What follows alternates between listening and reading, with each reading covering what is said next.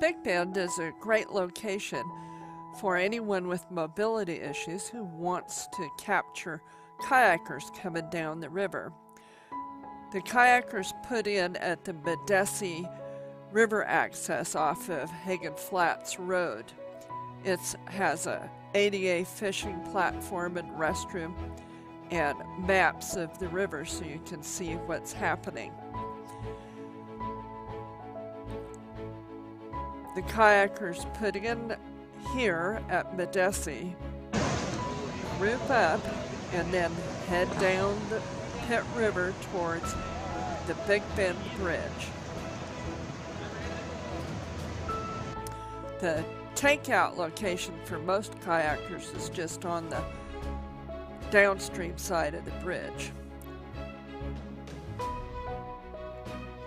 It's a long shot up to where the action is, so you need a good long zoom. I was using a Nikon Coolpix P900 camera, which has an 83 times zoom, and you can really see the action.